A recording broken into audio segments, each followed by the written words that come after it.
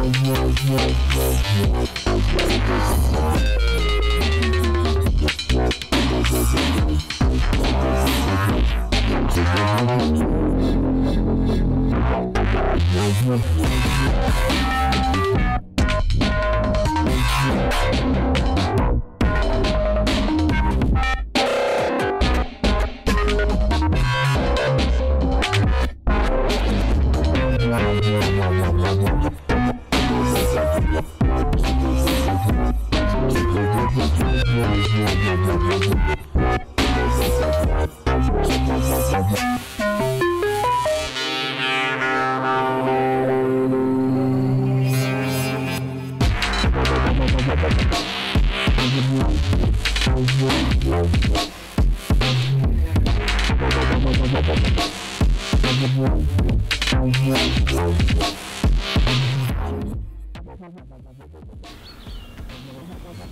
so there you have it.